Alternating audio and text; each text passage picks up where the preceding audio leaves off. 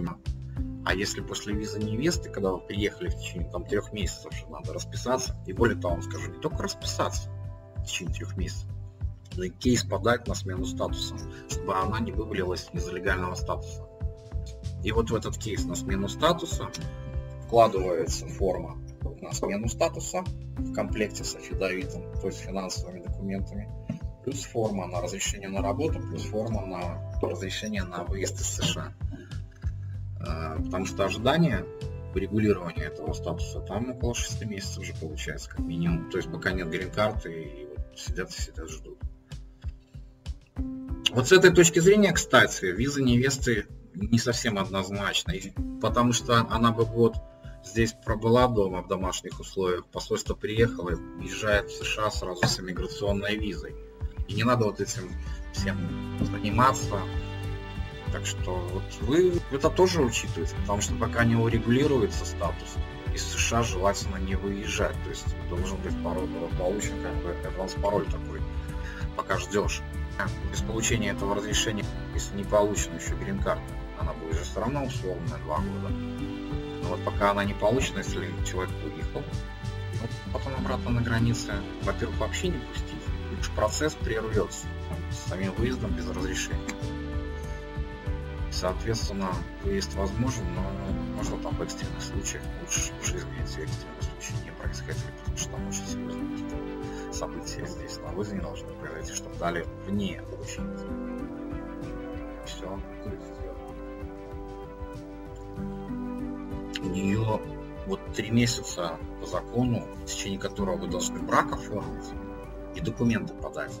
Когда документы поданы, у нее статус пендинг это легальный статус, да, но если э, три месяца закончилось, вы брак оформили, и пока не подана петиция на смену статуса, она вывалилась из легального статуса.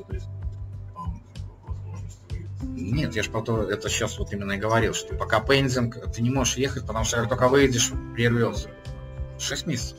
Где-то примерно 6 месяцев ждать придется в пендинге до выдачи грин-карты разрешение на работу и э, разрешение даже на выезд в обычном порядке, оно выдается примерно, ну, не раньше, чем через 4 месяца, а иногда одновременно с этой грин-картой. Единственное, что плохо, единственное, что плохо, что вот разрешения не будет, разрешения на работу не будет, и выехать, как бы, да, надо сидеть. А когда по иммиграционной визе въехали, то разрешение, по сути, автоматом с авторизацией на границе начало действовать. Все. Только осталось корочки получить, да и все социальное страхование и все. А оно там в течение месяца больше. Да.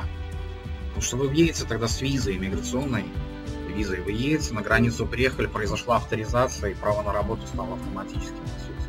Вы просто дополучили там и все, документы.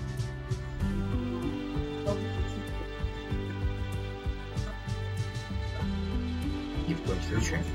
Ни в коем случае вы туда в статусе жены не поедете расписались, и надо подавать будет петицию. Петиция что по визе невесты, что по визе жены, она с территории США как бы файлится. Нет, ну можно отсюда экспресс-почтой отправить, но обратный адрес должен быть в США ваш. Ну как то да? Все, зафайлилось и ждете. По визе невесты просто чуть быстрее процесс заканчивается. Но предстоит смена. Да, но предстоит смена статуса потом там в США и все прочее.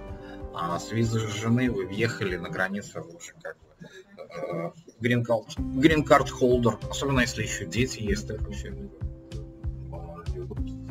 не, ну более хлопотно будет, конечно, со статусом там возиться и меняться. Если так вот брать, даже чисто по работе, ну, по, по количеству документов, которые нужно готовить, заполнять. То есть там, говоря, на смену статуса кейс ну, под форму определенные документы подкладываются, не будем углубляться, но идея. Под э, петицию на разрешение работы еще комплектик небольшой документ. Под э, advance пароль, разрешение на выезд, там форма, петиция, плюс еще, еще определенные документы. То есть вот разложить эти даже документы, просто даже разложить, там получается приличное количество бумаженций. А если вы еще к адвокату будете обращаться, то вы ему, допустим, словом говоря, заплатили за визу невесты, и за смену статуса за эти кейсы еще заплатили. Итого при самых скромных расценках он с вас возьмет там, там полторы или, допустим, здесь полторы. Ну, некоторые бывают дешевле, более адекватные.